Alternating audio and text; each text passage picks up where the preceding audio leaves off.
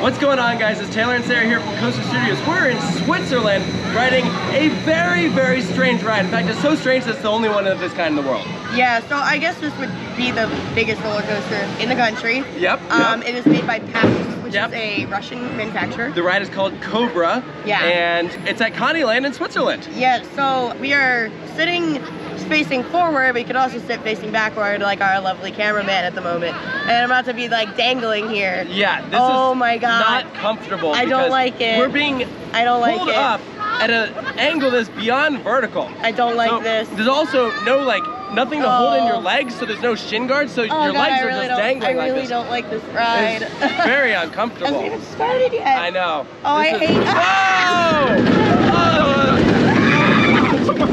Oh! oh no!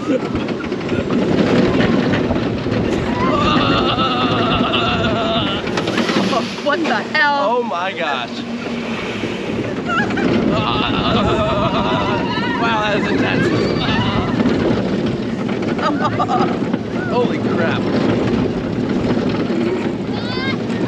Oh, are we back That was a lot. I did not like Wow. it. I did not I don't like even know what to say.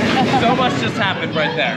Yeah. Um, I guess come out here to Switzerland, take a ride on Cobra. You want to do a really intense ride. Let us know what you think, because that was so many G-forces, and I don't know if I say that in a positive way. Positive G. Positive G's, that's, yeah, I don't know if that was a positive ride experience.